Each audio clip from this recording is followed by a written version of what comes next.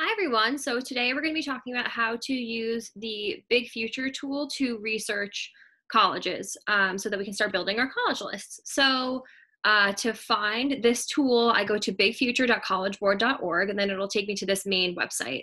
There are two ways we're going to talk about using this tool today. The first one is using the different filter settings to help us create a curated list based on our interests.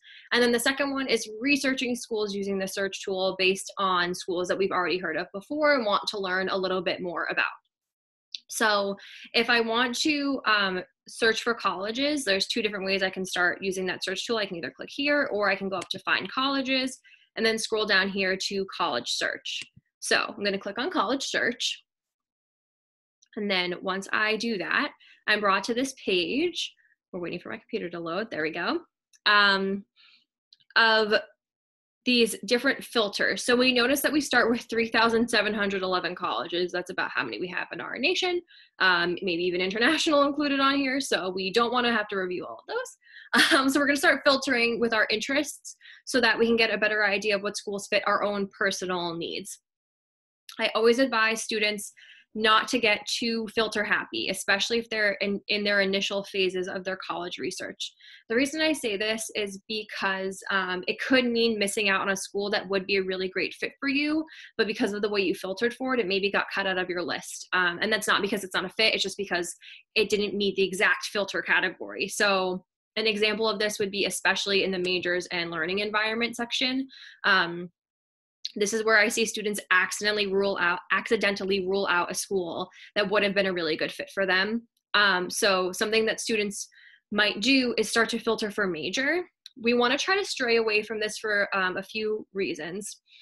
One, um, the biggest one being that a lot of colleges name majors different things. So, for example, something as simple as biology can be called biology on one campus, it can be called bio, biological sciences on another campus, it can be called human biology on another campus. But if we only filter for the one specific major, we might be ruling out options that would have been a good fit for us. So we're going to try to stray away from using this tool. Um, we could try and use out the field of study uh, tool if we're really feeling like we want to narrow our list more. But I highly recommend not typing in a specific major. It could rule out an option for you that could be a good fit. Um, the other thing you'll see on this filter are study options. Um, and most schools will offer these things to you. So again, if you check these off, um, it could end up narrowing your list too small. So we want to try and stay away from this tool in the beginning. For example, if you know you want to study abroad, you can comfortably assume that most US colleges will offer that to you. You don't really have to filter it on here. Um, most schools will also likely allow you to double major. So things that you're probably already thinking about um, you can go ahead and not have to use that filter tool on this site. So um, now let's look at the filters that we should be using. Um, the first one I always tell students to start with is location. So there's a few different ways we can use the location filter. The first one is to search by uh, distance from your home zip code. So um, if I'm searching from the distance of high school for health professions and human services, let's say I want to stay within 100 miles. I would go 100 miles and then I would type in our school 003. That's our school zip code. And then you'll see up here, I have 251 results already. So that cut out a large portion of that 3,000 colleges we saw before. We're down to 251 just based on distance from our school zip code. The other way we could do this is look at the different um, regions or states so we'll notice here we have the different regions of the US. If you know you want to go out west for college, you could select west and that would show you all schools out west. Um, or you can filter for uh, state. So let's say, for example, I know that I want to go to school in New York and only New York. I could click New York and then I'll see up here I have 231 results. Um, if you wanted to go to school internationally, you could also use this filter to uh, filter for different countries. So that's our first filter I always tell students to play around with because we probably know comfortably how far we want to be from our home, um, whether that be within the five boroughs of New York City or whether that be a uh, thousand miles across the country. Totally up to you. But you probably already have an idea, so you know you can play around with this filter because that's a need that you have. You also have the option over here uh, to decide how important that requirement is for you. So, for example, if I have to go to school in New York, if that's really important to me, I'm going to make that a must have. Um, if it's just something I want and it's not super like a deal breaker for me, I could move the filter down um, to make it a want instead of a must have, and that might expand my options a little bit. The other filter we're going to play around with is type of school. So up here we see there's a few different things we can select. We have two-year or four-year um, college or university. It, this is all dependent on the type of degree that you want. So if you're only looking to earn an associate's degree, um, you would click two-year community college, or if you're looking to earn a bachelor's degree, you would click four-year college or university. Um, so for the purposes of this search, I'm gonna select um, the four-year college option um, because I wanna earn my bachelor's. So that's the first filter I have. Um, so we see here now my results have gone down to 167 up top. The next thing I'm going to be looking at is public, private, or for profit colleges. This is referring to the type of funding that the school receives. Um, in your search right now, whether a school is public or private, um, probably won't make uh, that significant of a difference for you. Um, when we say public, we're talking about CUNY or SUNY schools in New York State. Um, that refers to schools that are getting funding from the New York government. Um, private colleges are getting funded by endowments and donations uh, from alumni and other people that have money to donate to those colleges. Um, they can often be very affordable. Um, so don't rule out a private college because you think a public college might be less expensive. Not necessarily the case. So in your search, I would recommend highlighting uh, or selecting both of these. I would strongly advise against selecting a for-profit college um, those colleges often look really inexpensive initially and then end up tacking on a lot of hidden fees and becoming really expensive for you. So, um, in general, the college office says stay away from for profit colleges if you can. Next, we're looking at school size. So, again, this is a personal preference. Um, you can think about how you see your campus. So, do you see yourself going to um, a huge school, going to D1 football games, or having a gigantic campus with lots of um, you know graduate students and other people? Um, so, more of like a university system. Or um, do you see yourself at a smaller school where you're recognizing a lot of people on your campus? Your class sizes are really small. Um, you are all w- located within um, one college versus a bunch of colleges all over a university. This again is a personal preference. There's pros and cons to uh, all different types of college sizes but again up to you. I went to a small to medium sized college so i'm going to select both of those for this practice search that we're doing together. The last thing we can filter for or the last two rather are um, if you want a single sex or co-ed college. So um, if you know you want to go to um, a college with all people of the gender that you identify with, you could select um, here, or we could select a co-ed college.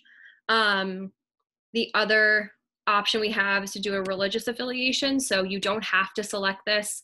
Um, if though, for example, you wanted to go to a college that was affiliated with your religion, you could filter for that on here as well. So that's our type of school filter. Um, and then the last thing we're going to filter for over here is paying. So um, we want to think about how much financial aid we're going to be getting from a college in our initial search because it's a really important factor in making a decision about a college. So, in the search on this tool, I usually recommend students uh, filter for about 80% of financial need, knowing that in a perfect world, we're getting us to a school that meets about 90 to 100% of our need. Um, but for the purposes of this tool, we'll filter for 80%. You don't have to worry about um, filtering for the rest of these. Uh, most colleges will offer you work study. Um, if you're an international student and you want to find out a little bit more, you might want to filter for international students on here. Um, and uh, you will get fee waivers for your application, so you don't have to worry about filtering for this. Um, the other option uh, you have on here, which I don't suggest using, is filtering for the cost um, of tuition. Again, you don't know how much financial aid you're going to be getting for a college, so we're not really thinking about sticker price. Most colleges at this point are over $60,000, at least private colleges, but with financial aid, you can get that cost down to zero or a very small cost. So we suggest not filtering here um, because it can give you a false sense of what schools are actually going to be affordable for you. So the only filter you're really using on the paying feature is um, meeting at least 80% of your financial need. So now I'm going to close and see my results. and I see that I have 59 colleges that I can look for just based on those few filters. So do we see how if we had gotten a little more crazy with the filters, we would maybe be down to such a small list? Um, and that's not going to serve us well, for, especially for in our initial phases of research. Um, this is a really great place to start. And then what I can do is continue to scroll all the way down. I'll see that there's three pages of results here for me. And then I can um, start to look at these colleges a little bit more closely. So I'm looking at this list right now. I'm gonna click on Hamilton College and learn a little bit more. So this just took me to the Hamilton College snapshot page. That's the other feature of this website is um, it gives you uh, more specific information on the schools once you filtered for them. So you see here, we have the website for the college. So if there's anything that you can't find directly on the snapshot, you can always go to the school's website. It'll take you directly to it. Um, we get some quick facts. Um, and then we also have some things we can learn about on the side here. So for example, majors and learning environment. Here we can see all of the majors that the school offers. Um, so the full list is here. You can also find this on the school's website. We see what the most popular majors are, which might be a big factor for you. It might mean that that's a more competitive major at that school. So um, you can look to see, as, for example, at Hamilton, a lot of people are majoring in the social sciences and the physical sciences. Um, so that's another feature we have on here. We can look at campus life. Um, here we see information about the diversity of a campus, which leads me to another filter we could have done on the Big Future tool.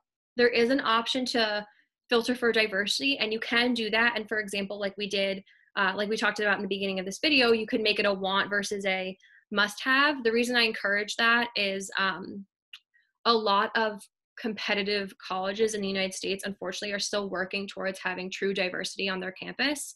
Um, if having a really diverse campus is a must have for you, that is totally fine. And there are colleges that do exist that have more diversity than others. Um, if you are um, considering maybe being part of the change to create more diversity on campuses, you might want to um, be careful with the way you filter for diversity because unfortunately it will cut out a lot of options for you.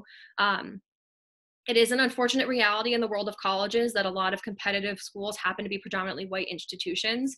Um, we are seeing a lot of change in our world right now. Um, and with that is the hope that a lot of these schools will continue to make greater diversity efforts and start to um, create more diversity on their campuses and create more opportunities for students that aren't white. Um, but that is, as we see here, for example, Hamilton College, a very competitive, great school in New York, unfortunately has 64% white students on their campus. So it's a predominantly white institution. Um, you have to think about what you're going to be comfortable with um, and with that uh, decide how you want to filter for diversity in your search. Um, a great way to find out about a school's efforts is making a connection with the admissions office and asking them what are the services offered for um, you know students of color on your campus? Can i connect with one of them? I want to learn about their experience there. Um, just to get an idea of if that's a place where you're going to feel like you can thrive and connect with people. Um, so you'll always find the information on race and ethnicity on this uh, on this website. And then you can always kind of decide um, how that makes you feel. Talk to your college advisor about it, connect with the admissions office about it, and see what efforts the school is making to create more diversity on their campus. Um, the other thing we're going to click on here is the paying tab. So as we know, we filtered on here for um, percent of financial need met. So we know that this school meets um, high financial need because we filtered for it.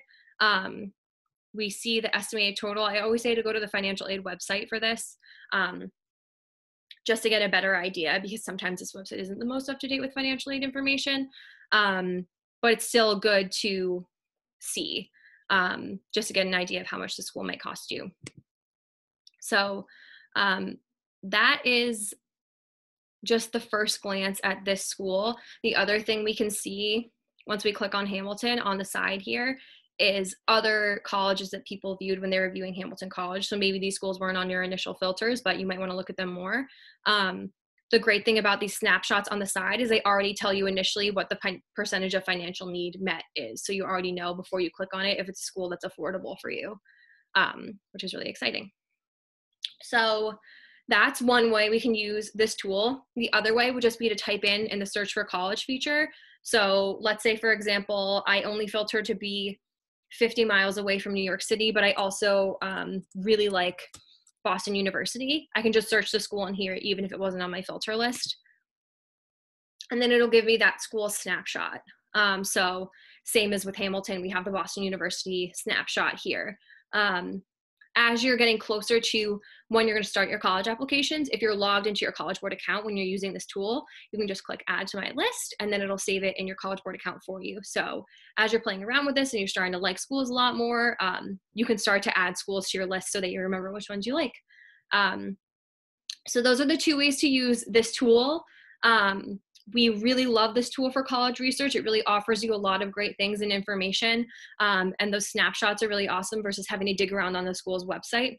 So you can find all different kinds of colleges on here, including CUNYs and SUNYs and private schools. So this is a tool that we love to use in the college office, and we highly recommend you get started with using it yourself. I hope this uh, video helped you kind of organize it a little bit and have fun with all of your research.